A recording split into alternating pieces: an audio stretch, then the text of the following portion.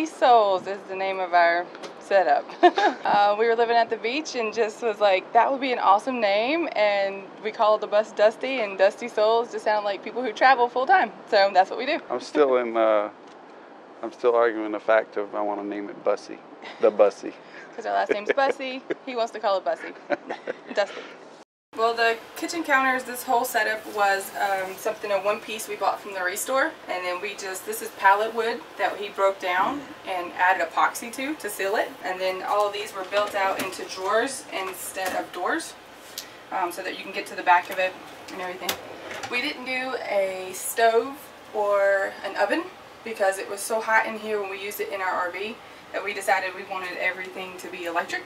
We plug everything in here. Um, it's our skillet and our George Foreman, our crock pot. And we can sit it up here, use it on the battery while we're parked. Yeah, we lived full time and we've lived in a bunch of different homes. We've lived basically whatever our dreams were, we decided to go get it. We wanted to live in a log cabin, so we did that. We wanted a really big home, so we went and did that. Um, we wanted to live at the beach, so we went and lived at the beach for four months. Um, oceanfront, loved that. And just knew that we wanted to keep traveling. Uh, we already owned a travel trailer, so we lived in it for a while.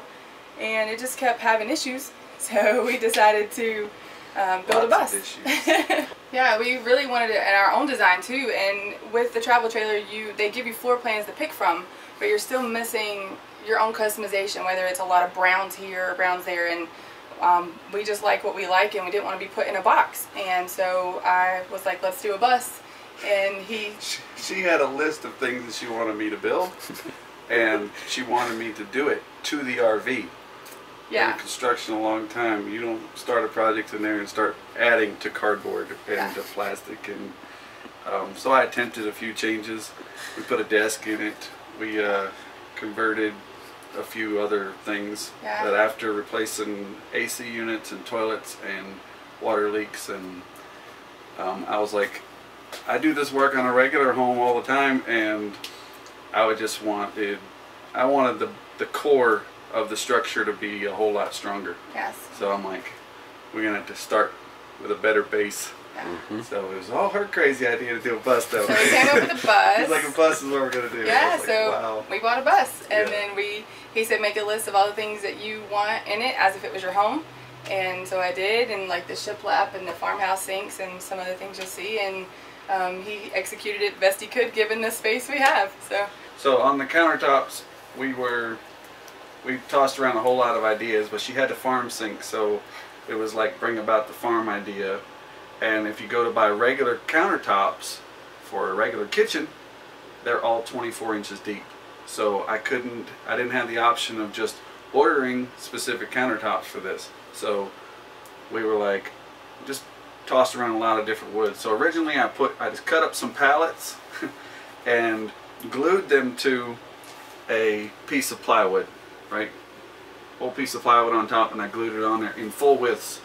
And moisture, or not sure what happened, but it all curled up on me. So the tiny boards that you see here is because after it all curled up and peeled off of there, it uh, got put into a table saw, and I ripped it all down to something that wouldn't curl up, and then I glued it down on there again, and uh, so part of the reason why we used pallets was because we wanted to recycle and use as much cool old stuff as we could get, and um, so we built those out of pallets, ripped it down three different times. It messed up. One was the curling on the thing, and then twice with the epoxy. One was the epoxy went on too hot, and it all froze on there like a big mountain yeah. of ice. Chiseled that off for three days, and then um, once I realized it has a certain temperature it has to be at, I put it on there. And that time, it all poured through the cracks. So then we sealed the bottom so it wouldn't pour through, and then we did another layer. And uh, that was my education on epoxy. first time epoxy, out good. These cabinets here came from the Restore. It was an old entertainment center torn out of a house that someone had custom built them in there. And I picked them because they were only 18 inches deep. And in a bus, you don't have big slides where you can push full-size cabinets out away and give you space. So um, we found those. They're a lot more narrow. Even though it was hard to find a sink and a fridge that would fit into that space. We ended up finding them and we cut that. It was a long 18 foot section and I cut it up into pieces and turned it into a L and had to build one more piece right there because that one's modified especially for our, our circuit panel and our switchboard. That's all down in that cabinet behind the spice rack that she needed. the fridge here is definitely um, was a labor of love. We picked, a, we went through a lot of RV refrigerators that were propane. She didn't want a propane one. No. Um, lots of different reasons why you don't. Yeah, the ones we had in the travel trailer, either the freezer would freeze up in the back of it, and we lived in it full time. And travel trailers are not designed for full time living. It's that weekend where you take them home and they thaw. It sounds great, but when you're in it full time, the freezer would freeze up. And I know you could add fans and things. You can always add stuff to that stuff. We just were done with that. So with the freezer, we did. We knew we didn't want a big, huge um, over under. She said cover no windows, so it had to be low. Yeah, it that cover part no of the windows. design. Yeah, and then the fridge we just went with something that it was basically the same size as the bottom half of our RV fridge, um, without the top on it, and it seemed to work for us, a family of three, and so we went with that one because it fit under the counters, and then he hooked it up so that it does run off our batteries. Uh, we can run it while we're driving down the road, and we're still not connected to propane, so it's, it's pretty good. Yeah, so no propane, it's hooked to the batteries, and it'll last about, what'd you say, three days? That's yeah. three days, yeah. And um, so it, and it was hard to find one that was shallow. Most of them were too deep. Um, we had to find one that would fit in the 18 inches that I have on this cabinet here. So, but it plugged in. It was actually a really cheap one too. I think we gave like 130 bucks for it or something, something. So we could buy five of them and still wouldn't catch up with the price of normal RV Yeah, that was uh, another thing too. refrigerators. So that Yeah. was pretty cool. The cost of the RV refrigerators. I even thought about putting one in storage in case that one broke and they quit making that model because that's the only one that's going to fit that hole. exact dimensions. He put, you know, kind of routed everything around it. So yeah, it'll fit plenty. I mean, you have whole gallons of milk. All your condiments are in there. Um, it's got different layers for like meat, cheese, and things like that. And then How many? How often do we go shopping? once about once a week, we go to the grocery store, and then we also have a DC plug in the back for a freezer. So we have another option back there that runs on battery. If we wanted to take a bunch of meat in the freezer or things like that, we could do that. So was another reason that we did it separate, the fridge and the freezer, was because I didn't want to give up a window. And the over under, we still have the freezer capabilities, but it's not blocking my window or giving us any um, crowded space up here. So that was why we went separate. Okay, so um, all of the power that we um, ran in here was, of course, the source is down in the box underneath with our four golf cart batteries and a 3000 watt inverter. And so it's able to transfer that power into 110. Everything in here is 110 with the exception of um, our AC units and a few receptacles. Um, so the, the inverter converts all of that power to 110. Even our lights under here, even though they're 24 volts, might be a couple of them that came in at 12 volts, but most of them are 24 volts. They plug into a 110 outlet, so they don't really use any power um, to speak of. But um, I plugged them into 110 being inverted from, you know, DC power. So that's what I did there. The um, power comes from the box below in the storage bins. I didn't want to do any storage underneath, so I cheated and used the storage that was already under the bus, put all my stuff in it. Came up through the floor on this side with a conduit and on that side in different areas. Put all the power into there's a 2x4 under here and then this 1x12 that's ripped down on an angle. And all of the power is in there. And I did it with hinges that are just screwed to this board and pop riveted with this access because we weren't sure what else we'd want to add to it in the future. So I was building to modify the RV is what you always do. So with that in mind these are accessible and worked out good because we ended up add, adding the AC later and I was able just to open them up put the wires in there and run everything so all the power is run from the front of the bus to the back of the bus up in these boxes but it originally originates in the box below The LED lights came um, about. We wanted something. We didn't want to do regular residential lighting because they're too big, and we had got the height of this bus specified to um, for us because we didn't want anything shorter this would have been a problem. This one is six foot six it was part of the decision we bought one Yeah. so we wouldn't have to do a, a roof raise, even though Yeah. they're really cool. um, but we did. If you put any lights in here, we would have had to put them offset or do the battery RV lights, which we had already tried, and they just weren't bright enough. Maybe they were uh, yellow, or we just didn't like anything. We didn't want anything up here. We wanted to keep it as streamlined as possible. So he routed out the a hole um, along the strip of it, and he added LED lights um, that plug in. Yeah, so there's a 2x4 that's under there, and I routed just a, a half inch slot in it, and then the LED lights just came in a cuttable strip. We plugged them in on one end, they run off of a switch, flip the switch on, and those things just stick. It was just an adhesive strip, a 3M strip, and they stuck in the slot underneath here. So then run it down. Each section that we wanted to turn on with a switch, we cut it to length and that's what section turns on. Could have run it from the front to the back, all turn on with one switch, but we bought a few different sections so it would break up the lighting through here. But it made good light, even though it's low in the evenings, it's well lit in here, and we added a few extras. These are IKEA lights. These were like desk mount lamps that wired all three of these together in one section, mounted them, and they turn on with a switch at the end of the counter. So these turn on separate. These turn on separate, and then this one just is right here, is for like when you're at the sink washing dishes. So And then the curtains came about. I I want to, to reuse everything we could possibly reuse. It's already in the environment. Let's reuse it. You know, it's enough people buying and consuming. So our whole concept was if we could find it, if we needed it, if we could find it, let's use it. So we went to while he was doing the build out, I was going to the thrift store every day trying to find. Um, these are just sheets. piles of Yeah, sheets. well, piles of stuff. It was all crazy. Like this is placemats, Yeah, those are placemats, and then we just cut them. But these are um, whatever sheets we could find, sheets, pillowcases, pillowcases, baby blankets, um, whatever we could find that I thought was cute. And then, like he said, these are um, just burlap placemats. Well, then we put all of this on a table and cut squares for days. And then him and his mom sewed it together. He laid it out, we measured it, and then they sewed it with the machine. And uh, that's Yeah, my mom did all most of the sewing. I was just the layout guy, so like what where I wanted it to fit. Oh, yes. So And then he hung a copper rod here that it just all slides, you know. And so we have the the open feel of all of our windows, um, but yeah, we can close off when we have the lights on at night.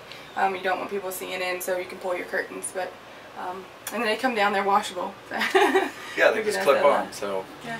when we drive down the road, um, if you drop the windows, all the curtains are flying like crazy. So it was cool that they unclipped. I was glad that they did Yeah. because now we can drive with the windows open and enjoy the, the scenery and Take all that down. stuff, and we just fold them up. Fold them up, and you're all set. Uh, we she told me when we built this bus, she said I want all the windows. We were living at the beach at the time when we decided to build a bus, and the house had all open windows all the way around. She said I want all the windows to be open. So that was the biggest hurdle because that means like no walls, no nothing over three foot, Yeah. and uh, it really proposed a problem. So I was like, well, I got an idea. If all the windows are open and we're parked somewhere and I want to throw my pillows against the window or lean the broom up here or whatever, I don't want someone to be able to see all of our junk in case we want to live sloppy for an hour or two or whatever. so I was like, I'm going to use a vehicle wrap that they wrap cars with because when they wrap the cars, they have on the window sections, they'll just make this stuff with the pinholes you can still see out of it. So come up with a funky design. I wanted lime. She said it has to be Carolina blue. Carolina blue.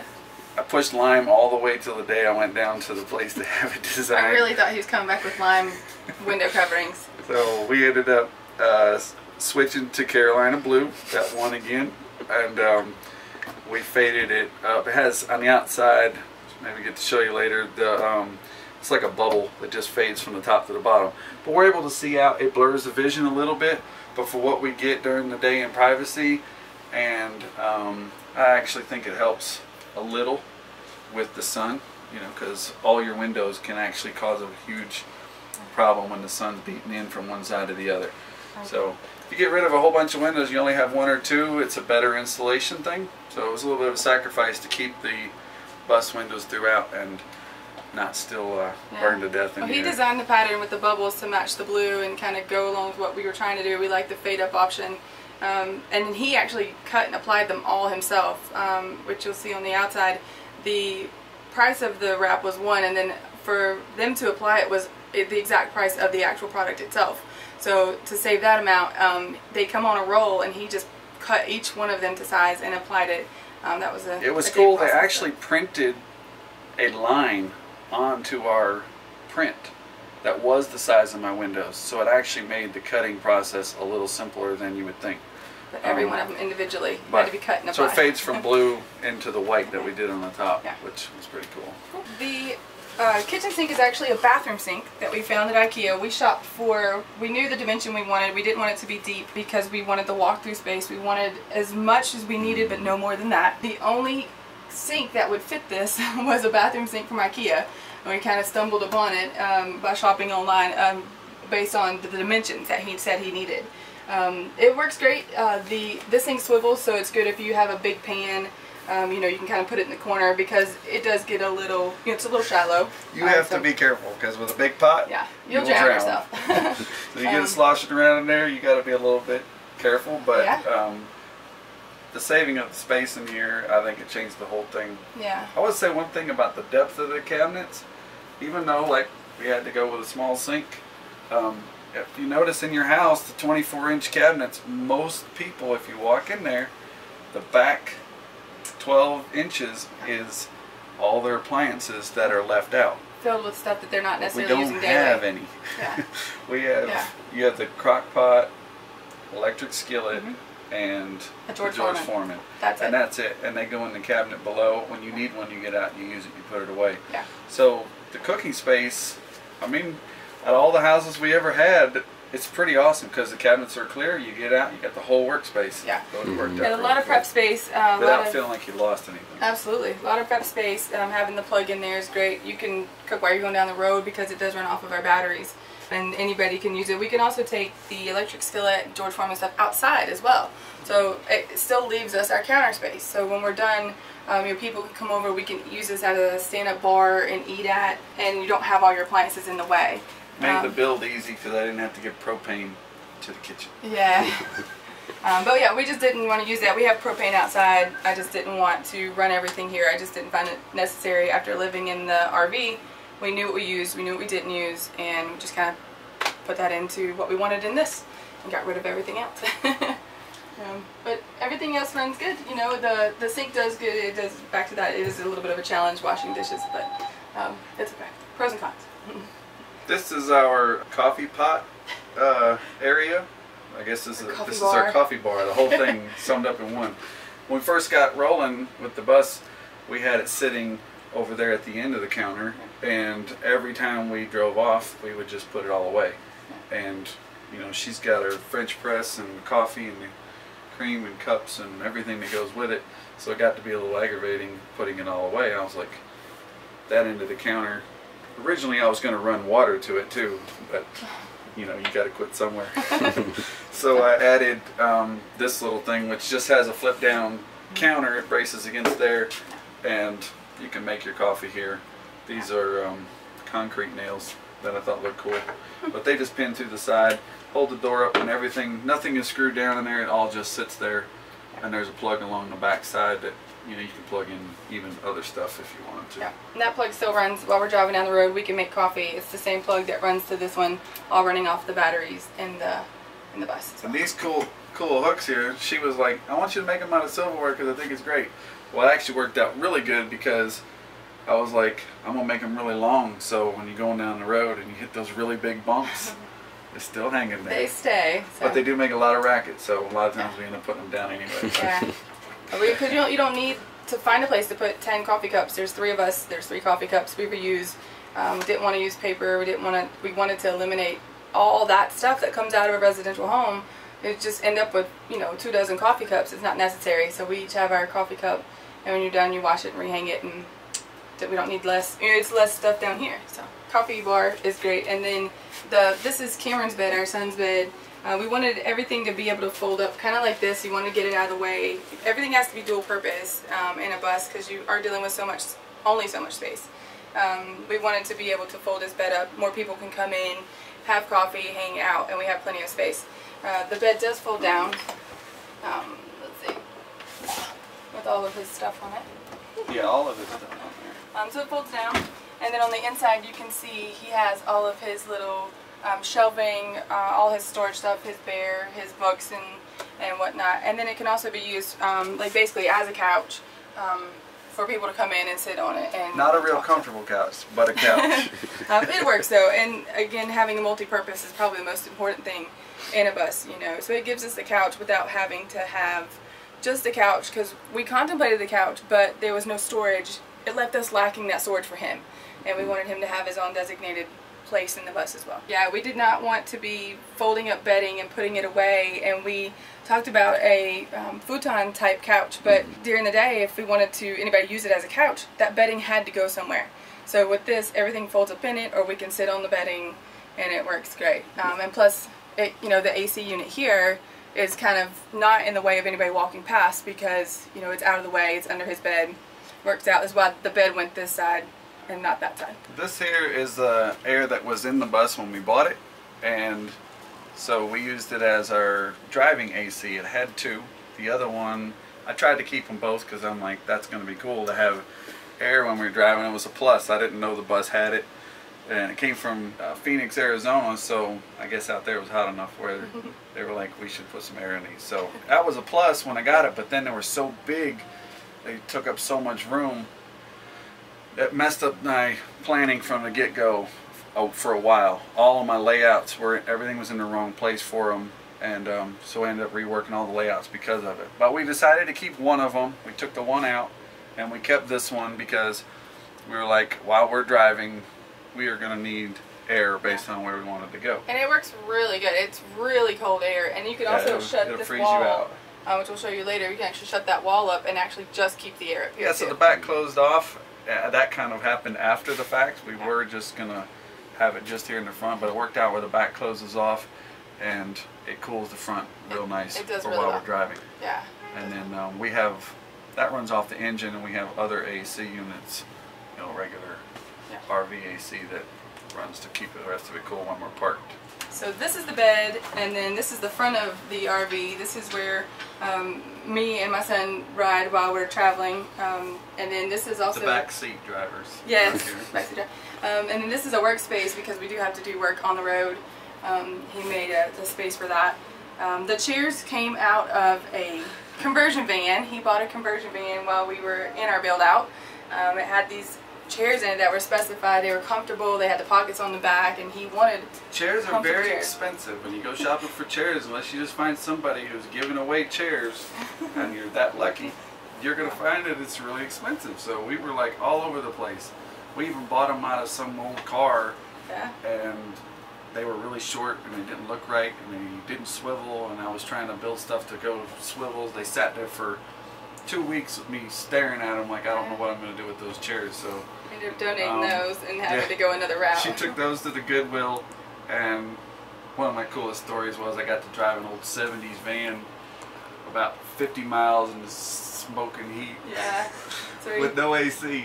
he found this the conversion van good. Oh, he found the conversion van based on the seats he wanted. So Just because it had the seats. Yeah, right. so he goes out and makes an offer. We drive about 60 miles in the other direction, um, buy this, take the seats out, and then he sells the van to another individual without the seats in it. For the same price I paid for the van. Yeah. Got the seats for free. But the person that bought the van didn't want the seats in it because they were going to put a bed in the back. I want to put turn this into an RV back in the back. So it worked out perfect. it worked out for everybody. Um, these here are just little tables that we put in here for um, when we're riding and when we're sitting. Um, the front of that table flips down. Go ahead and flip that down. It's, just- it's fairly simple. It just gives you more space when you're riding and you're not using the, um, the space. And um, and then this one flips down as well. It's a board that goes back to the wall and then it drops. Just gives you, I guess, more space when you're when you're just sitting here and not using it. But she usually has her phone clipped here, giving me backseat directions while we're driving. I'm the navigator. Nav- but then he put these little pockets on the sides of, of both. He built they're similar to like a magazine rack. They hold pencils, pens, maps, things when we travel, and then he put plug-ins on each side as well. So when we're driving, if we need to plug in our phones or you know computer, iPad, whatnot for navigation, we have power that runs off the batteries as well. Yeah, so it was cool. Um, I just dropped a single line down from the power source that's up here. I bought them on Amazon. They were they had two outlets and three USB plugs. Um, I cut the end of them off and put um, like the flat I don't know what they're called not electrician but flat wire prongs that just I just put the ends on there and wired them straight to the back of my receptacles um, so they're wired in direct on the other end and um, they work actually work really well everybody plug in all their stuff without having to have all the uh, gaudy ends they have the USBs right on them up here is uh, the captain's chair uh, this is where I try to drive this big beast um, we chose the front engine for I don't really know what reason now, but at the time I thought it might be easier to work on. If you have to work on them, it's hard. That's just a general consensus. Working on your bus is not what you want to do, but sometimes you have to. But over there in that seat, it can get a little bit warm around this engine. So a lot of times I have a fan running up here in the front and I'm trying to get some of this AC from the back where everybody's telling me how wonderful it is up here to this hot seat at the front. I bought an air ride seat thinking I was going to be riding in comfort and beat them with their chairs and all their comfort back here. Ends up it's a, um, a rocket launcher when you hit bumps. if you have it kind of sloshy and the wheels are behind you, so if you're driving down the road, you hit a big bump, it just like through the ceiling you go. But I have a seatbelt, so I stay in my seat and it just pulls your legs off. So it's great. But I end up putting the seat all the way to full pressure at the top so it doesn't bounce. So I just sit there and enjoy uh, my hot seat and driving without air ride. It's a lot of fun. Okay. All right, this is um, a curtain that we made afterwards.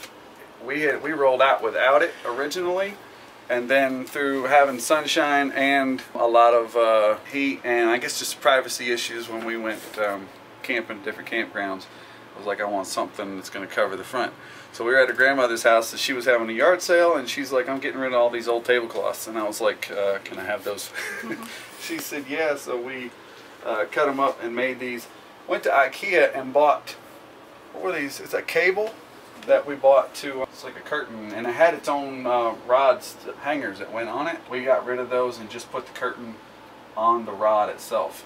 So it actually pulls back pretty easy and um, gets out of the way, and then we just clip it. So it actually works really well, really fast to close things up and give you some privacy. And then in the morning, I'm drinking coffee, I can look out the front window and watch uh, traffic.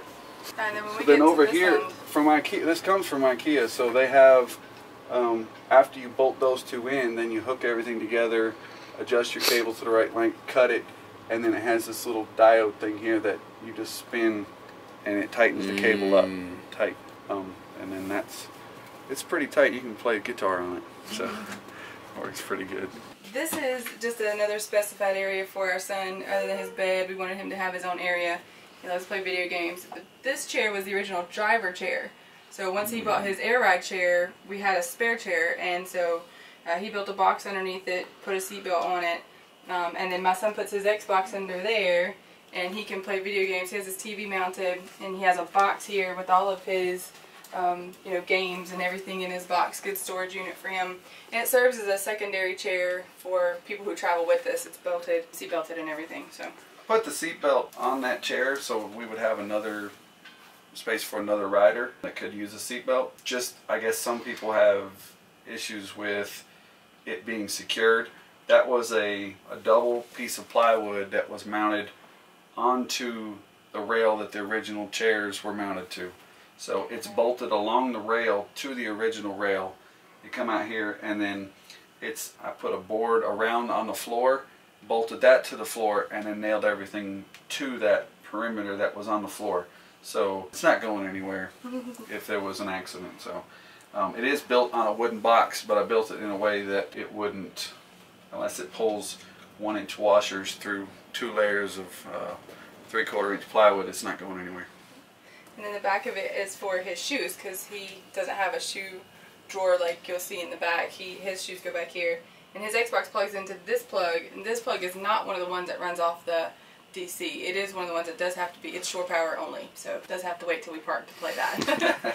but he does have a good view out the window because Um, and then we put him back here at the emergency window. So if he's ever traveling. Well, that was another. That's um, talking about the emergency window. That's one of the cool things that I realized about 10% into the build. You can move them and put them where you want them. When you're building this thing, if you're leaving your windows and you don't like where the emergency hatch is, take it out and put it in a location, you know, where you want it. So I had already built over. There was one and a half windows that got lost in the build. That was against the rules, um, but it got lost to the shower. And one of our emergency windows is behind that shower. I wish I'd have taken it out because we'd have got another emergency window moved to a location where it would have been usable still. Um, but I'd already built over it when I realized, hey, you can pull those out and put them wherever you want.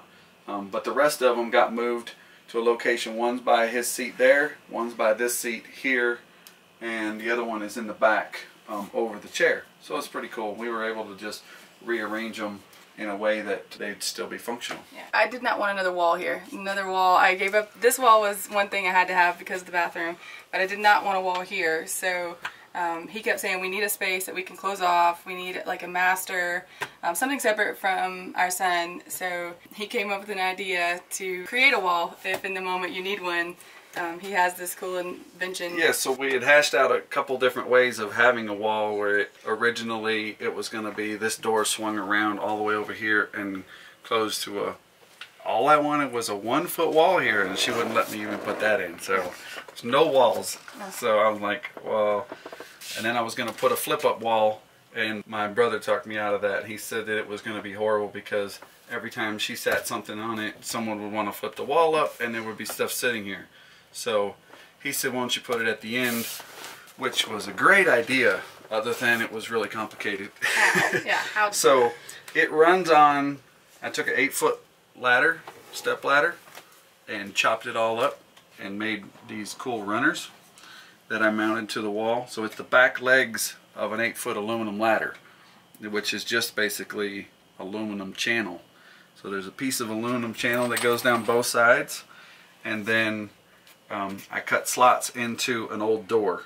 So this is a just a regular in, interior door that I just cut down and um, made into this shape. So it runs on this rail, slides up. It's not the, the smoothest transition, but it does go up real nice. It cut to fit all of that craziness over there. And as long as everything is lined up right. Take the pin out of the top and put the pin on the side and it latches it here so it all cut to fit.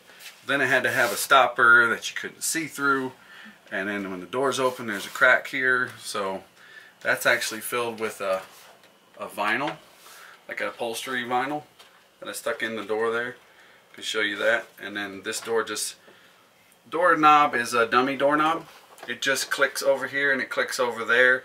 And if you actually want to lock it we have the slide locks that lock it into the ceiling here or into the wall if you're in the bathroom. So this is the bathroom door that duals as the bedroom door and this door and it just closes here and it completely shuts and gives you your privacy basically from this back of the bus right so then um, you can open it up and then just have this wall down which is down the majority of the time. But um, if you wanted to go back and have a uh, your uh, actual bedroom back here where you know he's up there playing his games or doing whatever he's doing. Yeah, well, it's just nice if you need to change your clothes or yeah. or anything that you know may come about. We have company that comes and stays, like our our grandmother, my mom and dad. If somebody wants to come stay with us, it'd be nice to be able to you know give them their own option too. So not just for us, but looking forward to like other people that want to come travel with us and cousins and whatnot. They can actually close this off. They have a space and you know we can sleep outside on the deck or up front. So this was an, ad an addition out of necessity that yes. still has, we're arguing about what color we're going to paint it, so that's why it's still natural. It might stay that way. We're leaving it. so it was built because we needed extra storage for like towels and things like that, and just extra bathroom stuff um, that didn't fit in the bathroom. All I needed was a bar of soap toothbrush, toothpaste, but there's apparently other things that you need. We're big fans of don't buy it until you've used all the other one. Like I don't like six soap containers or six lotion containers or don't buy the next one until you've used that one. But we like certain products from certain stores and they are not available across the U.S. So when we go to those certain stores, So we do there's four or five of them. we'll, we'll plug there for some of our products. But um, we so he built this so we could put it here instead of it being in the back. If you needed an extra bar soap or toothpaste, It was originally in a tub back. at the back, and it was just yeah, we don't these beds flip up, but we don't actually usually flip them up because you know you're living in here, and that's you know it, it works great like it is. So ended up being the perfect place to put some more stuff. yeah, and and the open shelving like the chicken wire behind it and everything was designed because I did not want another wall. Um, this still gives you that open feeling, and a lot of people put like uppers in an RV where they're rounded on the back, they have the door on the front. We had those in the camper trailer. She said no uppers, I so there was no uppers going. No uppers allowed in the bus. I just didn't want that because again, it, that that door is going to close the wall off, and when you're standing behind it, it's going to limit your view. When you're standing in front, it's going to limit your view. And I just wanted it to be the 360 windows was something I wanted to make sure we got to take advantage of all the time. So having this Uppers kinda- can kind of make things close in. Yeah. And it is amazing how much stuff we squeezed in here, and it's all low. Yeah. And because your arms can swing, I guess, or you feel more open from the waist up, it actually made the space feel pretty big. Yeah, because in our travel trailer, when you look down the walls, and most of them are, you have walls on both sides. When you're looking down the hallway, you're going to see walls, and I think it limits your view. I think it limits your personalization, and so for me, I just did not want another wall. I wanted something different that I hadn't seen before, and this is what we It came up worked out pretty cool. Yeah. And having three in a bus, it does kind of, you know, tighten the space. in them, it. tell them about the showroom, So the dresser here. this was the dresser. I kind of came up with these. We were looking for something to put in here, and we had been shopping for used dressers, used chest of drawers, Maybe a piece whatever. of cool furniture. that Yeah. I was going to put runners in and make it so it would stay closed. Like a statement piece. We were looking for something that we Yeah. both loved that was functional. And but the problem with just furniture in general is when you travel, keep in mind everything moves.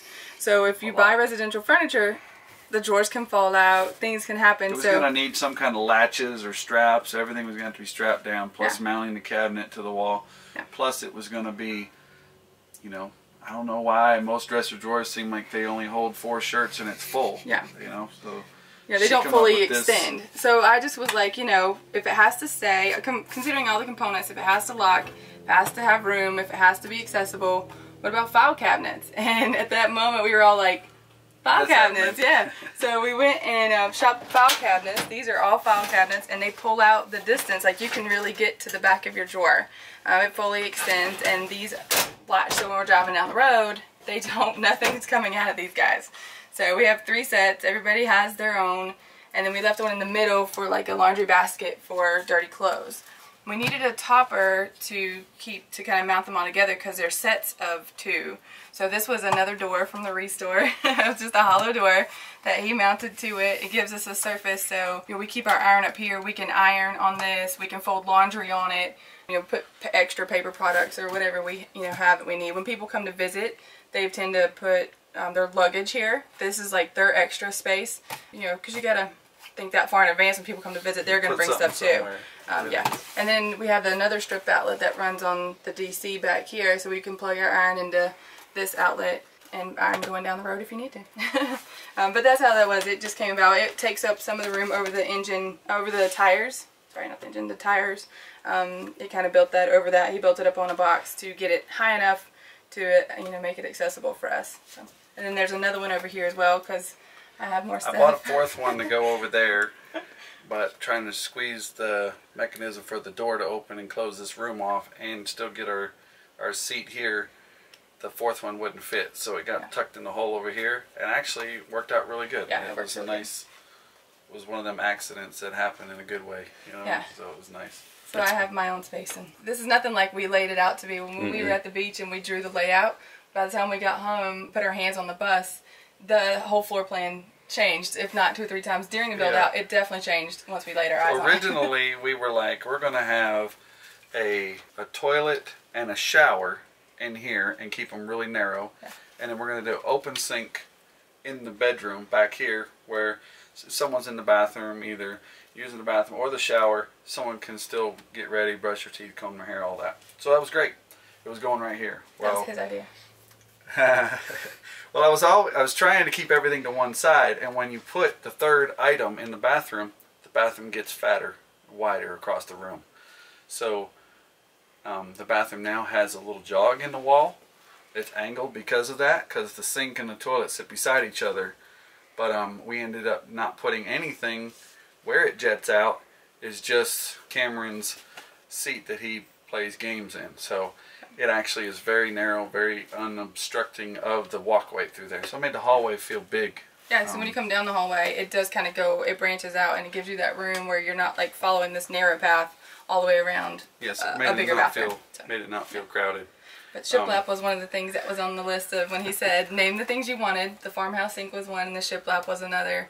And a couple other things that I'll point out, but that was one of the things I said I had to have, and he incorporated that in the build out as well. When the sink was supposed to go here, I was up there in the bathroom trying to save her windows in the bathroom, and when I built, laid out the shower, and then I went to put in the toilet, um, the toilet was landing, splitting a window. So the wall that was going behind the window was splitting one of the windows down the center, which is going to make it not necessarily block any view, but it's going to make it so that window wouldn't open. So it was either like shrink the bathroom another foot and make it a really small space where you're sitting on a toilet, your feet were in the shower, or it was go another two and a half feet, a whole window and a half the other direction into the kitchen. Well, it messed up a lot of other designs up that way, but we end up going with a really big bathroom that we love. Yeah. Moved the seats across because the seats were going to be too deep on the one side, and um, anyway, changed a lot of designs up yeah. there. It all got rearranged several times. Yeah, really but nice. being in an RV, the bathroom we knew was one thing that had to be a certain way. It had to be roomy. The shower was non-negotiable. It had to have room. We're both six foot. He's over, and it just we're both big people, and those little RV tubs. Easy. We we just couldn't use the um, RV stuff um, because it was just not working for us. It just felt so closed in, and and it didn't work. So we knew we needed a bigger bathroom. We live in it full time, so we kind of kept that in mind. Yeah. All along was can you live with it every day? Do you love this? This is how it's going to be. I mean, you can always rearrange, but keeping those things in mind is like, what do you love about your home if you have one, or what don't you like about your travel trailer if you have one of those? And make sure you incorporate that in your build. the beds, though, was something that we, this was kind of another thing I had to have. I wanted the beds to fold up. We wanted extra room. Everything in the bus has to do two things, so um, following with that, these beds are just like Cameron's bed up front. They both fold into themselves, but both being six foot, we wanted a king size bed. For being in construction, he didn't want to put the mattresses up against the windows or anything because of humidity. So he built these frames to allow them to fold up into them, kind of his own Murphy bed concept. Um, we couldn't buy a kit because a lot of the Murphy beds go straight up and down, and I wouldn't forgo my windows. So he had a really tall hurdle to, he only covered half of them, which was still a big discussion. I didn't want it covered at all. But to get the mattresses to fold up into it, um, it they had to go. He built shelves in all of these so that we all have our own, you know, bookshelving, it just extra stuff that you have, your personable stuff, you know, to have a place to put all that. Um, but still be able to close it up when we want to close it and have people in. You can also do it like a day bed. One goes up and, um, you know, you can use it as a couch if you want. Um, it's also the access to the back, like storage area back there. So. Most of the time I just run across the bed. Um, and then he built these um, seats in the back. These are extra seats for us um, to serve as additional passenger seating. Um, but they are um, shoe boxes. They lift up and you can put your shoes in the bottom. We each have one um, for extra stuff. Everything he wanted, everything to have a home so that it wasn't falling when we were moving. You don't have to pack it away and move it two or three times. If we had to move it, to, to store where you kept it. You know what I mean? I don't want to have to put it in a different place after you know, now we're moving down the road, so we're going to put all of our stuff in a different place. So yeah. it's like, put it where it can go and stay all the time. Yeah, the rule was if you had bit. to move it more than once, we're, build, we're building something for it. Yeah. Um, and that's kind of how it, it, Or get rid of it. And that's kind of how it went, yeah, and, and everything is kind of that way. You buy a shirt, you, you donate a shirt, or, you know, because you don't have it so much you know, room for stuff. So. You mentioned the construction. One of the things, I lived in a bus when I was a kid, and I just remembered you know, my blankets were against the windows, and depending on how you're heating and cooling, the windows can condensate like crazy, and anybody that's been in one can attest to that. So I was like, nothing. You can have some wood touch the windows, probably wouldn't. I'm not going to rot them because it's not that much water, but you don't want to be curling up in your blankets at night and all of a sudden you got a big soggy spot on your blanket. So none of the bedding I knew I knew that none of the bedding could touch any of the windows or walls. Depending on how you insulate, that probably changes significantly. Yeah. I left all of the panels in this bus and didn't take any of them out and built everything on the inside. Like I said, built the electrical in the boxes above and conduit down and I didn't do any extra insulation. So technically it's not insulated well, it's just what it was when it was manufactured. Except the windows, you did go back through and re-seal every window. He Pulled all the windows out and put a, it's called a backer rod, like a half inch backer rod. I stuffed a half inch backer rod 360 degrees around all the windows Every window. because the windows were just straight drafty. AC units work on a fan suction concept, so the efficiency of these is basically really dependent on, even though insulation matters, AC units really depend on how well you sealed just drafty cracks. So if you have a lot of cracks, it pulls from the easiest place it can get air from. And if you have cracks everywhere, it's literally when it turns on, it pulls hot air into the room, right in, and makes it run inefficiently. So the more cracks you can seal, the more efficient your your rig is going to be for sure. So I sealed all of those windows, and we put any kind of sealer we could around the doors, and made a huge change in how these things run. They really work good, even though I uh, cheated and didn't insulate. Yeah, but it's fine. And so we ended up with the vinyl. Within the vinyl, because of the heating and air, I guess the, the temperature differences, it started to shrink. Well, we had put the furniture on top of it, which is a no-no. We did it anyways. And then, so now that it's shrinking, it's starting to pull apart. And so now we're facing either replacing it with, I mean, it's the top end of whatever they have at Lowe's. It's the highest in vinyl that they have. And the guy gave us a great deal on it because we were sick after the first purchase. But so now we're facing having to redo this, but we'll leave it till it. So, um, so this is what the beds look like without the bedding on them before we fold them up, and it's it's really easy. You just grab your side and it folds right up. And these are both uh, six-inch memory foam mattresses. Um, the gap in the middle, we don't really feel it because he fitted them. He fit them perfectly together when he was doing the build. They were meant to touch exactly like they're supposed to, not have a gap in the middle, but still give us a king size bed, which opens up all this space here. And they also latch in place so that they don't fall down while you're driving down the road as well. This is a modified deadbolt, which is uh, questionable at best. So I took the back side off of a regular deadbolt, threw it away, drilled the hole, and had to cut a little steel pin to make one of the little, has a little bar in there that makes it operate the bolt. So I had to add that little bar, but it's just a modification. It's only one-sided. The other side is not on the deadbolt. I t- took it off and threw it away. because it's flat where the mattress sits on it. It's kind of a toy hauler concept. We wanted to be able to put chairs back here, have people back here, just more expanded space where people are in. You can basically, I'm leaning on it. You're leaning on it. It's like a coffee bar type situation. You can eat up here. I almost put my desk back here. Yeah, it kind of got going gonna sit in a high chair and look out the window where they got to where where are you gonna put the chair? They already have chairs up there, Yeah. and you gotta cut some If, somewhere. if it doesn't work twice, it, you can't have it. So, right. but then and then he installed the pallets on the back. We just old pallets again, reusing something, and um, whitewashed them, and they serve as the headboard when the beds are down to keep the pillows from falling off. And then they also serve as um, they hold our cleaning products in the back because they have shelves naturally in them. So it holds like our broom and, and things back there to keep it out of the kitchen or keep it from falling. Again, everything falls as soon as you go to move. Yeah. It all shifts. shifts so. I was gonna show just this is just two by four framing. That's a three quarter piece of plywood. This is two by six material, and it swivels on a I believe that's a one and an eighth or one and a quarter conduit pipe that's just mounted through the plywood ends.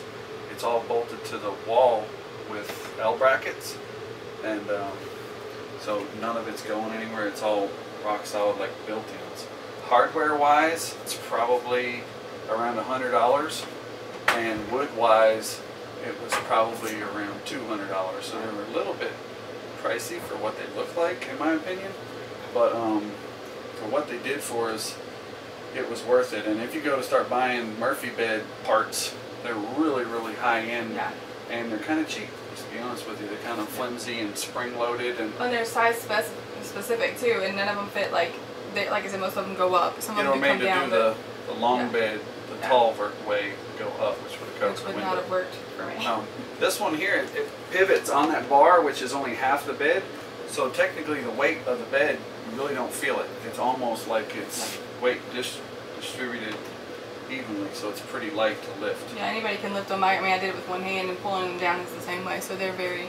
And these are regular residential door hinges, even though when it sits on the floor, the weight is against the hinge. I was gonna just do two and opted for four just because I didn't want to have something start to sag or give, or start to move. Once it starts moving once, it's over. Yeah. It's gonna start to break. Yeah. So when That we was in our old camper. when we lived in the RV, you know, we were talking about how we tried to make it something. He bought this bendable flex rod to make the master bed bath basically like we've done here. He did that in our travel trailer with this bending rod, so he was able to come We around. couldn't fit in the bathroom Yeah. comfortably to get dressed, Yeah. so we would open the door up, and this curtain went around in a circle. Yeah. So we just kept it. We to already had the bedroom curtain. into We already had. bigger. Yeah, we already had the curtain. We already had the track. So we were looking for a solution to put back here. So we just was like, hey, we already have this track rod. We took it out of the trailer when we sold it. Um, so he mounted it up here, and these are just little S hooks, um, and the curtain slides really nicely, you know, back there. So it's kind of like a, a reuse of what we already had. The bus door, uh, a lot of people ask about how do you lock it, how do things like that. Um, I didn't want a big latch or anything. I didn't want to be locked from the outside and not be able to get out. That was my main concern. And I know we looked at a lot of other options with deadbolts and whatnot, but he came up with this solution. That's a um, just a U-bolt, and I just got some rubber tubing, and I lined the U-bolt on it so it wouldn't rattle if it was just hanging there. And I use double nuts to lock it in place. It's tightened all the way down. It just slips over the It Um, slides over the red part and it holds it. over the red part, so Really it can't be lifted. So you can't open it from in. the outside. But if whatever emergency, something was to happen, you literally just slip it up, and then you can open the door. Yeah. So, and then I didn't want to paint the door. I left the vintage door because I thought it was cool. We, We did the front one too. We left it. Yeah, we left all of our stickers, all of our decals. we left them on uh, anything we could. That we let you know we leave it. So then to open it, it just goes out like this, and then you get a nice, you know, it holds, it latches back there, and you get a nice cross breeze. Um, the reason that we didn't put the bed all the way back was because we wanted the we have a washer dryer hookup back here, and then we have the DC for the fridge or the freezer. So we wanted to make sure right now it just has like um, you know extra stuff in tubs. We just wanted to make sure that was at the back of the bus, something we were walking past every day. So and it gives us room. We can sit right here. We can sit on the end, and it creates a nice breeze back here. She mentioned the shelves that are in here. All I did was just cut the pallet side off. We mounted it up here and made it so it would give us a nice opening. They're mounted to the floor and to the beds. Um, and then I just added one board in the back along the bottom so anything you put in there can be stuck on the shelves. And um, so everything's back here. And this is a table, like a portable table. It stores on this side. And she's got some cleaning stuff on that side. Yeah, you can store anything in it. It's good for just holding. That's the most important thing in the bus. Is everything's going to move. Make sure it's latched. All these little containers on top of the bed are latched. This is something that I actually love, but she hasn't got any on her side because she's protesting them. But these are just little cases that I found. There's one screw in the bottom that mounts each one of these. So they turn, they kind of look natural, but they're mounted. So I got a lot of different things, belts in there, socks in that one, but they're mounted to the top of this thing here. These two are glued together, but they function, they sit there all the time. And the guitars are bungee down. The ukulele's bungee down. This is a magnet. It does not move. It stays there. Why that plant. thing rides there all the time, I'll never know. It's never moved, so that's a Little plant rides at the corner. yeah, it's a real plant. Um, but then like more stuff like the hangers for the hats because again it takes up more drawer space. The more stuff you have, if all that was to go in a drawer, you've lost stuff for clothes. And when you travel full time, you need clothes for pretty much every season. So um, you know having the hats up here and kind of out of the drawer, out of the way, you know it kind of just adds some more organization to you know what is a tight space to do that in. So. So there's no roof space in this bus. It's about an inch and a half, inch and three quarters is all the depth that you have between the two layers. So when you go to put the AC unit in, there's no room for your wiring or any of the, the controller that goes in here, all that stuff. So I actually went outside and built a box around the hole that I cut and then trimmed it out with some flashing and sealed it in and then set the unit on top, which the unit, when sat on top, actually is now on a flat surface because the, the box that I built, I cut it to the curve of the roof. So it's ended up sealing really nice. And then you mount that just like normal to screw everything through. Still have the curve inside here that I couldn't eliminate really. I could have, but it would have just took some modification. But technically all that air just blows into the room and this is the return which is sealed to the plate that's on the inside. So worked out pretty good. And then to access the roof deck, or roof deck on top, The- you do it. my inspiration for building a bus was because I was going to have a, a deck on the roof, and nobody else has a deck on their RV. Well, not nobody. yeah, I'm sure some, We're a lot of people do, but We did not have one on our travel I, trailer. yes, So, I didn't have one, and I wanted one. So This was the one thing he was like, he made, he let me make a list, and then he was like, this is my non-negotiable. my So, list. yeah. Yep. So where to put the ladder was is always the thing because you want to hang one. It's removable. Mount one up the back. It all looked too standard. So I was. Uh, for safety reasons, security reasons, Yeah. we didn't want to put one out. Yeah, these things don't latch normally. You'd have to really modify dual latches for both sides because it's made to pop up from either side, and someone can just pull the latch to rescue you in a car accident. Yes. So they're made to pop from the outside. So I'm like, I'm not gonna put a bus to the ground, or uh, put a ladder to the ground outside for someone to just climb up in here. So anyway, put it on the top. We kept all of our emergency hatches as well. These are the originals. We thankfully they did not leak, and we did not have to uh, replace them, and we did not paint them either because we like the original kind Yeah. of dingy color. they really are. They work. Yeah, if really they well. were to start to leak, I guess we'd have to shop to find some new ones. Yeah. But these were actually. Because we've talked about doing like um, skylighting in them if they were, but um, if they're working, we're gonna just leave them as is. So these, uh, you have to have clearance above you because this is a full ladder, Yes. but um, and a little bit tall because it's kind of. We have an AC unit for the the drivable AC that mounts on top, so the deck is a little bit taller above. But this ladder just folds in.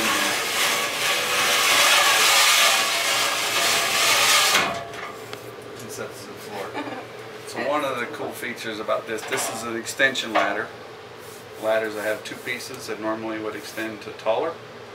And I took the back half and cut it into like two feet. And then left it on the back of the ladder. So the last two feet is mounted to the top of the deck through a bar that just swivels. This ladder up here, I just put bolts through it where the two ladders connected. I just put a bolt through here, and the other ladder just stops it. So you pull this down, the weight of the ladder, you could literally climb it without it touching the floor. So it's not going to slip out from underneath you, Yeah, and the weight doesn't go on our flooring in here. And then I put a little wood block on the bottom just to keep it from scarring up the floor. Yeah. And we can also drop it down on the bed. We don't even have to fold the bed up. So Yeah. it's pretty cool. And then that goes up to the oasis on the top. Footage Okay. heading up. I think so.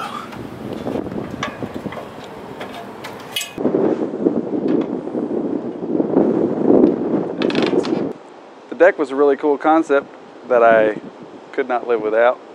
This was a rack off of an old trailer my dad had where he used to do vinyl siding. So we cut it down to fit and um, put it up here. So we made the rails on it because she tried to tell me she didn't want rails at first, but you get up here without them and anybody's walking around, it kind of gets a little squirrely.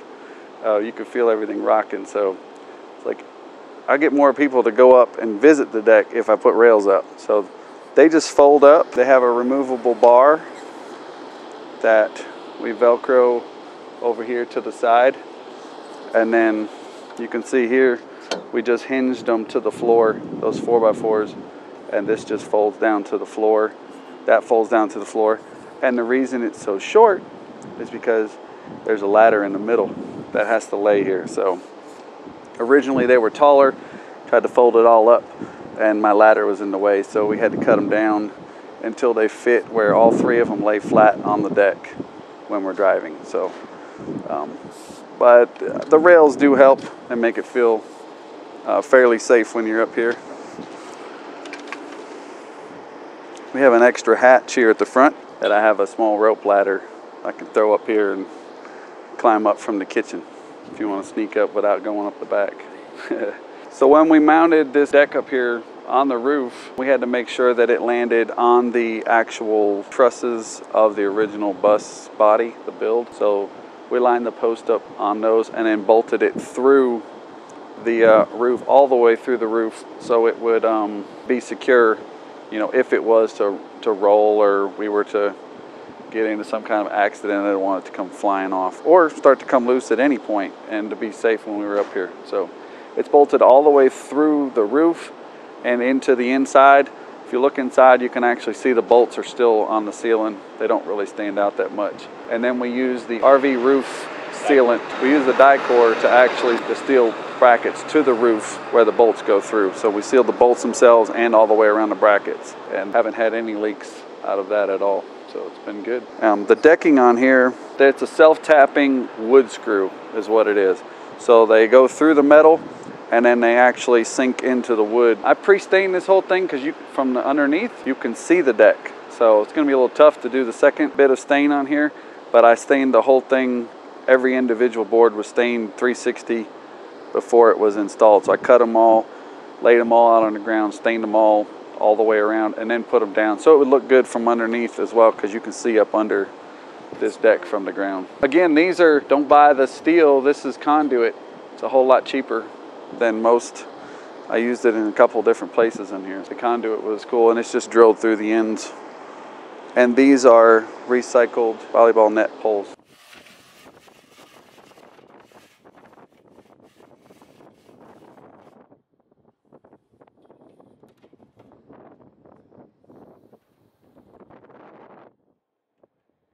Yeah, once once I pull it back to here, I'm able to grab it and then just pull it down into the room. And slide it that way. Close the hatch. And when I'm traveling I pull it back here right there and then I bungee cord it right there. And this keeps it from from lifting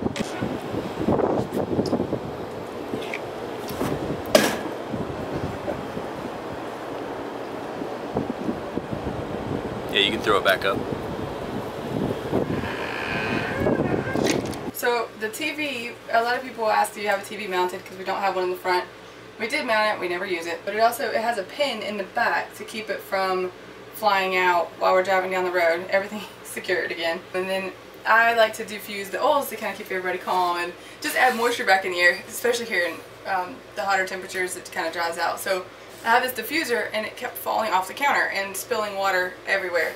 So I asked him to build me something to put my diffuser in.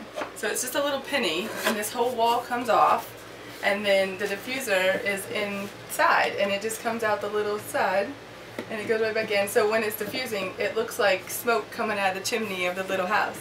Um, and that's just a way that we can use it, but still not have to worry. You know, when you pull off, you're like, oh no, did we take the diffuser down or anything like that. So that just goes in like that and then and in the front there's routed out holes for the power and then the back is routed out as well so it's just that was important for us to have and I didn't want to keep making a mess with it so he solved the problem. All the curtains in the back half of the bus um, unlike the front the front's all sewed in patches these are all rag tie curtains that me and my son Cameron made. More fabric from the thrift store. We just bought and washed it several times and then just cut them into sections and tied them and we tied every single strand of these by hand throughout the whole back half of the bus and then whenever you want to pull them back you just grab a bunch I usually divide the windows in half because it kind of works that way you just grab a piece and it kind of goes around and you just latch it and it holds and um, that's our curtains back here. Uh, we just didn't want full curtains like the front because we kind of wanted the privacy still. Something a little different in the back, different than the front. We didn't want to get into more sewing because that was a lot. So we just... No, uh, that was a lot. It was a lot. We, we tied... Cut and tied and cut and tied for, For like days. two weeks. I built half a bus while they were doing it. He that. really did. Our focus was to tie these, and then of course you would tie them thinking, you know, this is how far we need to go, and then by the time we would tie the material, it would shorten or lengthen. So we were in here modifying that. And then these longer windows where you know the cabinets aren't had to be adjusted, so there was no set pattern of how many inches to tie these curtains. So it was constantly changing, but it was fun, and, and I love it. It's probably one of my favorite things in the back half of the bus. It's just part of us, I guess. Going forward though, through the hallway, you um, go to the bathroom, and the bathroom was actually built a little bit over the wheel well too. Um, so it kind of gave us a little bit bigger space. The door that latches is just really great because you can make it, everybody can kind of fit in. This is something that would never happen in our RV bathroom. There's both two adults in one bathroom. That would never happen in our RV. So he went with the um, tile shower. I wanted Subway tile. That was the last thing on my list was the Subway tile um, shower. So he did all that. Um, and he built me a seat in there because girls need a seat, you need to shave and all that stuff. So he built that over the wheel well. So we actually were able to incorporate that of more dead space basically. Um, he was able to use it for something functioning. And then in the bottom of the shower, um, when we lived at the beach, we collected a bunch of sea glass and we didn't know what we were collecting it for at the time. Once we started the build out, we were like, we have to incorporate this. Um, it went from like the countertops to different it was things. everywhere. Yeah. Bathroom sink, Yeah. countertops, countertops. and kitchen. It ended up as the flooring in the shower, and I love it because every day when I get in there, it makes me think of when we lived at the beach and just other adventures. It's something that we were able to take with us. So um, that's probably my favorite thing in the bathroom. He built the wall up to make sure that the water stays in. It's ample enough room. LED lights that he ran, the same strip that's throughout the rest of the bus is also in the shower because it gets a little dark in there. So he ran the strip in there and covered it with silicone so not to be waterproofed. My favorite is my Restore suitcase that I cut in half. Yeah, we needed extra storage for like wash rags and Q-tips and things like that. So he just But just a, and we just a case. I cut it in half with a table saw, mounted a piece of wood in the back, and then screwed it to the wall. Yeah, one thing we did do, we went with the residential toilet um, for us right now, which is we can actually swap it out if we ever decide to do boondocking or off grid. Um, it has the flexibility of going to an RV toilet or a composting toilet, um, which is an easy swap out. But for us, we knew at the time we were going to be parked and traveling and parking in places with um, full hookup. So we went with the larger toilet just because it's nice to have. You know, no other no other reason other than the convenience of having the larger toilet. It does, you know, the holding tank will hold it, but you only get around four to five flushes, maybe a little bit more. I have a 20 gallon black tank, so. Don't you, get many uh, flushes. Yeah, if you get carried away, it, Yeah. it'll get full in a hurry. So. Yeah, so definitely not something to do for boondocking, but we knew that going in. That was part of our plan going in. That was something we were not going to be doing right away, but we can swap it out when we get to that. This is another sink from IKEA. It's a bathroom sink. It's the same sink as the one in front, just a little bit smaller. Yeah, it's basically cut in half. Um, but um, this one worked. We had to have it as shallow as possible because uh, you only have so much room. Um, this was also a cabinet built with the pallet and the epoxy on the top of it as well. All of the drawers are pallet wood, and then these are just regular plain knobs that I Mod Podged part of our fabric from our curtains is just Mod Podge to the front of them just to kind of tie them in with the curtains as well. And then the lighting has that has its own fixture, what turn on and off on that one. And then there's a fixture on this one that runs the one in the shower. And then the we didn't want a big mirror. We have the full length on the side. Didn't want a big mirror. Just wanted something small.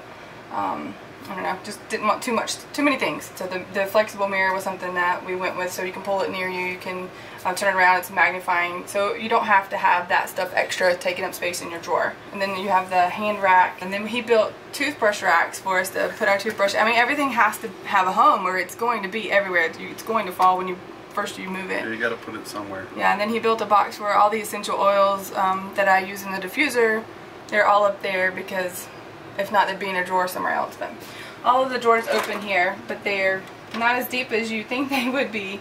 But behind that is all of his plumbing. So he put these tracks on it to pull them out, and you can actually get to your plumbing if you need So to. So the only reason why they come out so far is because that's the shortest drawer runners I could find.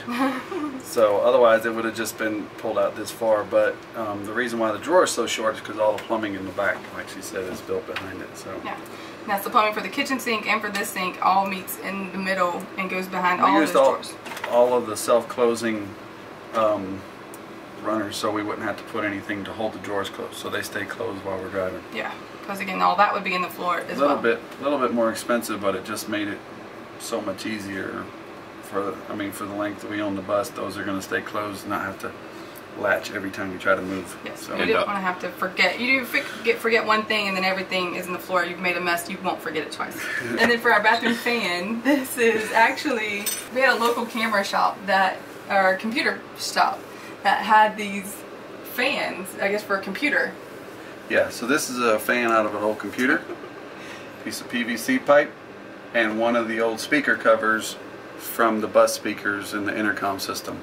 and then that button right there says camera on, which is a little creepy when you're in the shower. But you do turn the camera on to turn on the fan. Yeah. That was a button I stole off of the the bus had cameras in it before, so I stole the button and put it back here. I just want to show. I guess I'll show you real quick what this um, does inside here. Where how I built that fan. I the big fans with the the button and the crank and all that, and you're cutting a hole in the top of the bus. This was a single hole through the side, and those are velcroed down as well. But that's a piece of PVC pipe and the computer fan that I just glued to that and screwed to it, the little button. It's a 12 volt. Uh, computer fans are 12 volt, or make sure you find a 12 volt computer fan. But um, and then it's just a hole that goes out the side of the bus. We can show you that outside. It doesn't leak. I put a little dab of uh, liquid nail in the bottom just so if water ran in, it wouldn't run all the way in. It stops at the little dam in there and keeps it from running in. The sides of this tub I did with um, it's one by four PVC, so it's not painted. Um, I didn't want to have to paint next to the shower because if you paint next to the shower, it's not going to be painted very long. If you put wood here, it would rot. And I wanted to have a rim, so if you shot water this direction, it actually stops here. It doesn't shoot out into the room. The base along the bottom of the shower, all of the grout underneath it is built up, so it runs back the other direction too. Everything goes here. So we haven't had more than my son just sticking the thing out the shower Yeah. and spraying the floor. We haven't had any water in the floor. Yeah. And then mounting the shower curtain, we get asked a lot, how do you how do you mount your shower curtain? It's just a copper rod that he bored the hole out of, stuck it in there, and I cut it the exact length to where it's too long to come out. And I bent it just enough to get it in. I just kept trimming it a little shorter, a little shorter until it fit. It actually moves back and forth, but it doesn't fall out. not going It's anywhere. just the right length so it fit in there. Yep. And so there's no obstruction or nothing to hold it and it doesn't fall. And then the, for the You good? faucets, um, oh, for the faucets, he used a it's like a water saver head for the shower, um, just to get you. anybody boondocking probably should figure out what that actually is but it like uses no water and it has a lot of pressure Yeah. it's a little bit pricey for a shower head to go just the shower head and the, the thing actually works really really well Yeah, it's not your standard. None of the. you can just put your finger over it and it'll quit spraying but it feels like it's dumping a ton of water on you but it's not it's Yeah. some kind of a whatever patented design I Yeah, know. yeah. None of these are RV spigots or, or you know faucets or anything. Yeah, All, all everything in here household is stuff. everything's residential. Just because we had one break and then like the plastic break tends to dry three. rot, uh, the nozzle dry rotted and broke off, and so we just went with real residential tile in. So the door was something that I was not negotiable about either. I guess I've said that a lot of times. Um, kind of I was hard. I was. I had rules. Uh, so anyway, um, I wanted to keep the original door. I was a little upset. I really wanted it to open out. still hit the air in there and open the door. Yeah, I wanted As it worked, to- It was cool. I wanted it to open naturally, like a school bus door would. But um, for safety reasons and putting uh, different latches on it, we looked at so many different latches. I just couldn't agree on anything safety-wise. So he said, "I'll keep the door, but we're going to do it a certain way." So Yeah. So before it had a an air piston at the top that you hit it and the door would be like, psh, and it would just fire and it was awesome. You could eject people or let anybody on that you wanted, but it was impossible to um, lock from the outside when you were leaving. It had a thing up there, I guess, was to lock the air piston on it, um, but uh, it just wasn't functional. If you pull over to the gas station, you run in to grab something, you can pull out your keys and deadbolt the door. wasn't practical. So I wanted the keypad, and I wanted the door to swing and latch behind us. So it was cool. We just screwed the two panels together. They're bolted in the center. I took it off its hinge over here, bolted it there, filled in the space on this side, and mounted a regular residential knob. Drilled a hole into the steel panel on this side, and then it latches and um, and locks there. And we can go. We don't even carry any keys. We just come in, punch in the pin, and unlock it. Um, it has this knob. If you haven't seen one before, has a switch inside. When I flip it, it makes it not work. You know, when we're going to gas station stuff, that's how we leave it. If we're here hanging out all day, we'll unlock it on the inside and then you can walk up and it'll actually function without typing in the pin. Yeah, so that every time you don't have to type in a pin code every time. And it also has the availability for a deadbolt too um, from the outside or the inside. Every day we keep it deadbolted at night, but when we leave, just for extra security, if we want to use a deadbolt, we have that option as well with that particular setup. I put one of those foam backer rods like around the windows inside of this um, just because it was getting wind from the top and bottom. Yeah, you see it hanging out right there at the top, but it kept some of the draft down around that door. On the door, you might definitely talk about like the vinyl wrap. You can see on the outside, uh, it's got the picture on it, but from the inside, you know, you can see out really well. But driving, another reason we kept the glasses is because when you drive, seeing out this window is so important. Um, you know, we had originally put the vinyl over that window when we first left, we got about five miles down the road, and he was out here exacto knifing the vinyl off of the window because you just couldn't see.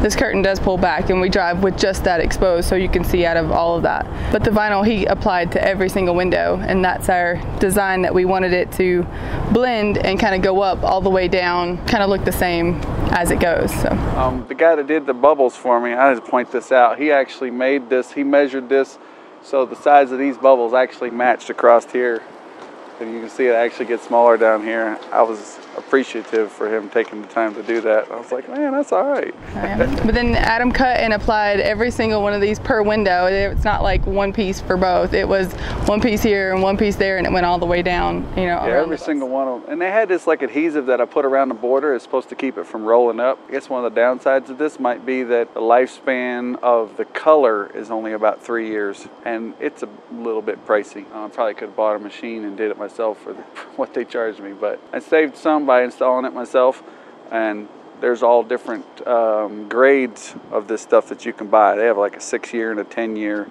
If you're willing to spend the money, you can get it. On the paint, we actually did a, we wanted black and I knew this was gonna be a more active area around the bus, you know, where we're getting in and out of the bins, maybe throwing your bikes up against it. We actually did a bed liner at the bottom because I was gonna do a matte black anyway. So we did a bed liner. This is automotive paint without hardener in it. This also is automotive paint up here. We got a defective batch, which made it a really fun project on the white. They replaced it for me, but they didn't repair my bus after I painted it with their bubbly paint. But um, it's painted up about 10 inches above the curve with automotive paint without hardener on the white as well. And then the roof we did with a, a white cool seal that they say reflects the heat off of the um, the top. We did it without a hardener because the guy at the um, automotive place said I wasn't ready to paint it at the time and he said it had like a certain amount, it was a certain lifetime or life like expectancy in the shelf life. Yeah, thank you, shelf life for the can and also I think because I was rolling it. I'm not a painter, know nothing about it, but I rolled this on in 100 degree heat and he said my timing I think would have been less on the drying and I can't imagine less than instant because that's what I had when I did it. Yeah, as soon as we painted it on here, it was drying faster than he could roll it, and then after you, if you came back over it, it was peeling off what you had already covered. So cooler temperatures for painting this and the bed line are both applicable. Drive up north and then paint it. Do something. Don't paint it in Alabama. Um, this is my only box that actually is storage, and I just painted I slapped some paint in here just so this wouldn't be all yellow. The back of the box is still yellow. You can see some bus yellow I wanted to keep there. some of the yellow in there, you know. Um, and then it hooks up on the thing. But these have just these latches. We kept all the same hardware that was on them. And then on the other side and at the back is where we built in all of our RV components, I guess. The tanks, water heater, we hid all of our plumbing in it unless it was actually extended out to actual appliance. This was actually on the bus when we bought it. This was one of the things, uh, two of the things he well, I guess, well, three. He wanted a specific height inside for us because we're taller. He wanted the deck, and then he wanted these bins already on the bus. He shopped for these already on it because comparing cost of a bus that already had them versus having somebody to uh, build them to specification plus, you know, weld mount them and everything, he wanted to just go ahead and get them on the bus. So they actually came on our bus, um, and then we kind of just used the space that we had to fill in what we needed them for the grill, the grill is something that it kind of expands our kitchen. Uh, we didn't do propane in the kitchen, uh, didn't do a regular stove top. A lot of people ask about that. Um, the reason we didn't is because we had so many electric appliances already. I didn't want to be buying stuff I didn't need. I was trying to reuse what I already had. So when they go out, maybe we'll consider a different option. But this uh, hooks to our propane tank that we use for our tankless hot water heater. So Adam found this at I guess Yard a yard sale. It was somebody's RV. They had sold their RV but forgot to put their RV camper or RV grill back into it, and so he just was selling it. So it came with the grill and the stand, and then Adam uh, added these to our bus, the the holder. Stainless pipe. This was the original bus handle that you used to walk into the bus, the little stair rail. So I cut it up. It's stainless. It won't rust. So I built those brackets out of it to hang it on.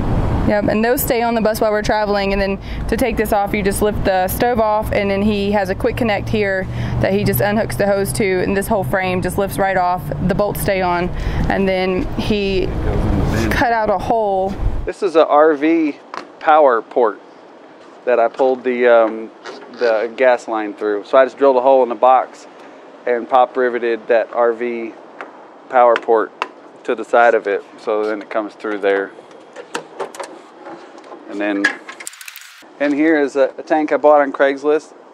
Uh, I got a heck of a deal on. It's like a $500 tank. I gave 110 for it, I think it was Yeah, he wanted And I- a really big tank. took it down and had it certified and they were like hey it's great so it was really ugly when i bought it kind of scary looking so i sanded it down painted it It was really old. and um, put it in there but it's a regulator it goes out this steel line goes straight out there i have an extra port in case i want to put something else on it then it goes straight across the bus it's mounted to the frame and goes to our hot water heater on the other side the only thing this thing runs is the gas grill continuous hot water heater for the other side. That was another thing living in a travel trailer was we knew we did not want a regular tank because we would run out of hot water in about six minutes, 10 if you did a military shower. And with three of us showering, washing dishes, living full time in it, that was one thing was we knew we wanted a tankless hot water heater.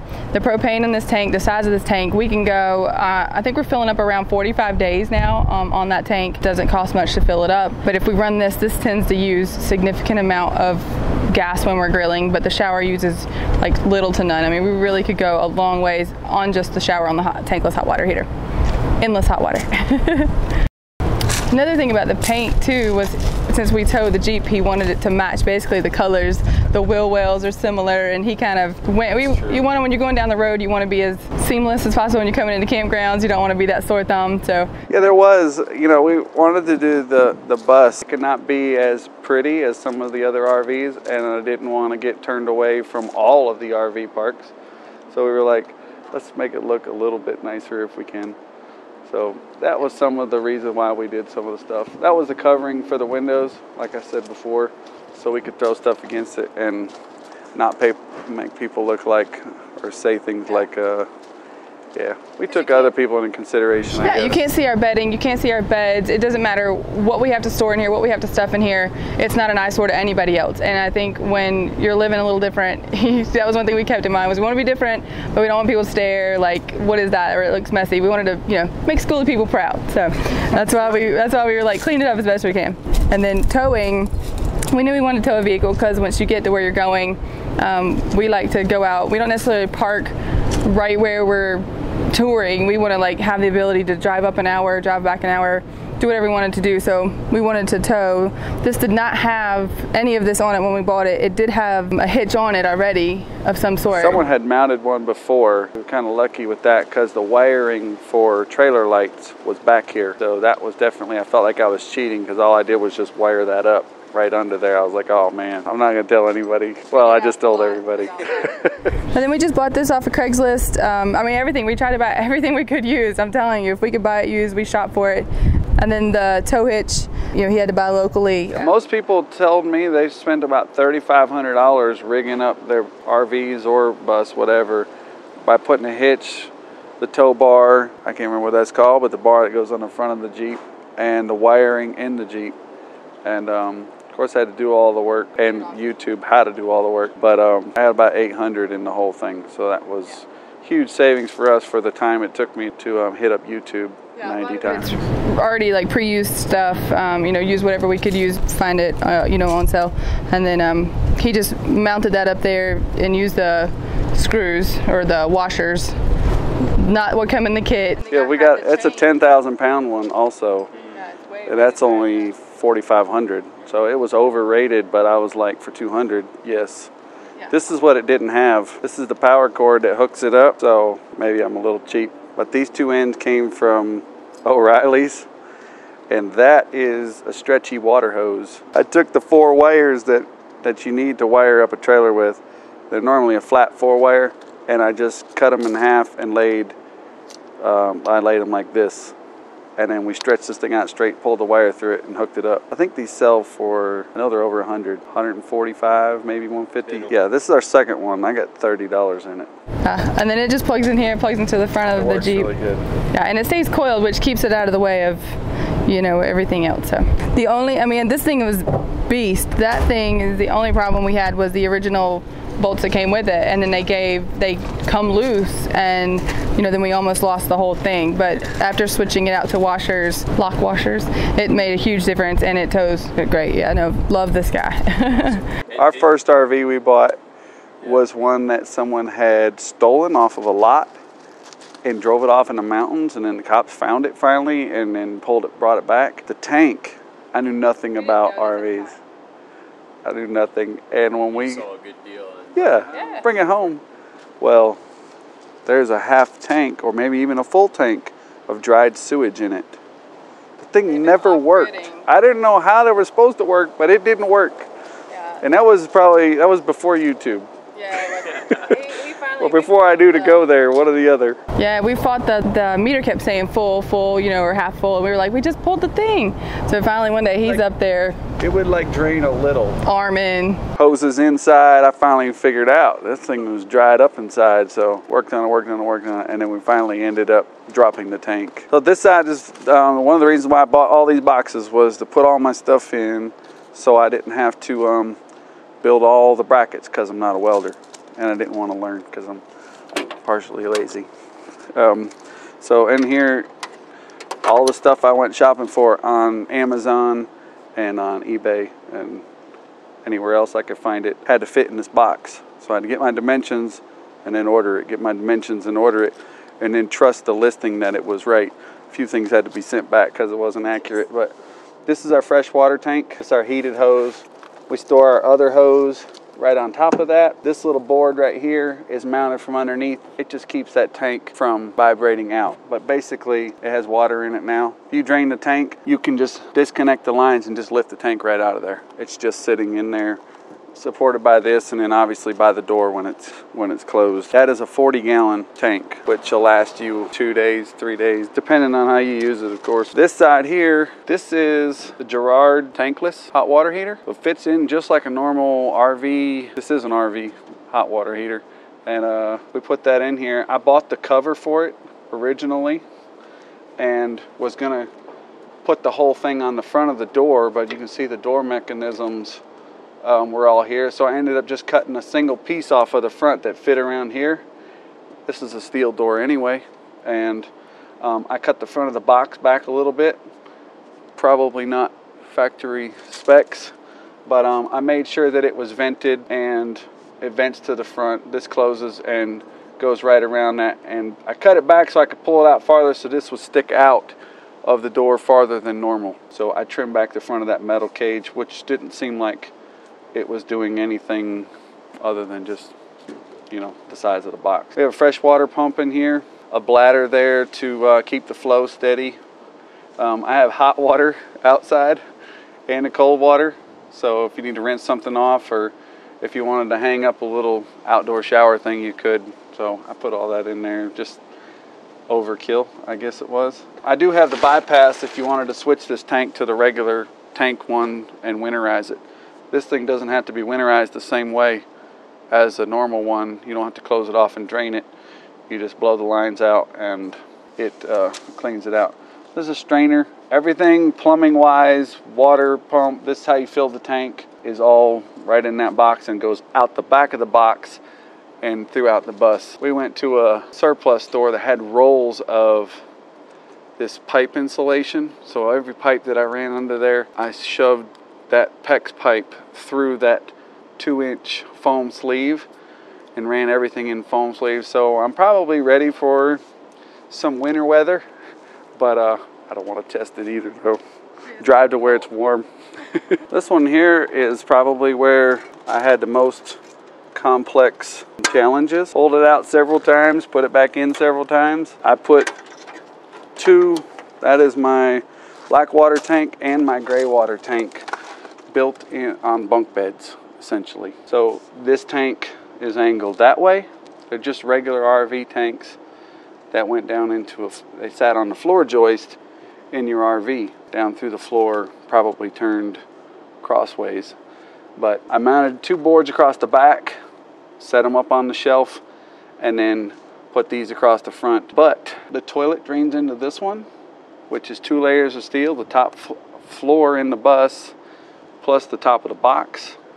Very little room to do anything with and navigate in this gap. But I built them, marked them from the top, took them back out, cut them, stuck them back in. But they can be removed pretty easy. Everything is screwed together. You can take the screws out and drop it all and pull it all out, with the exception of the drain lines that go down. This is my um, gray water tank. The shower comes in through the top, comes down and comes out the bottom, and then it comes out the other end. And then I have a dual drain. I can drain the gray or the black water separately, which is kind of cool, I guess. Wish these were a little bit bigger. Thought they were 40s. Best guess is they're 20s. Get about 15, 20 flushes and it's and it's full. But wish they were bigger, but I wanted to build them in the box. Like I said, I didn't want to do any welding.